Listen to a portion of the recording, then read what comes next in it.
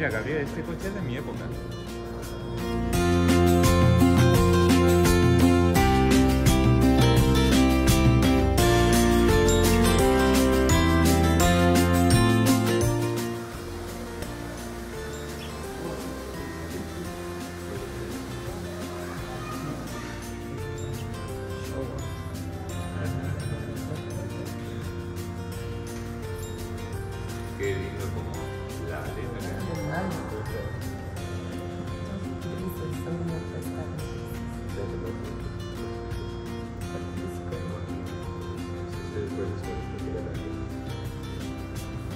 Tiene amarillo.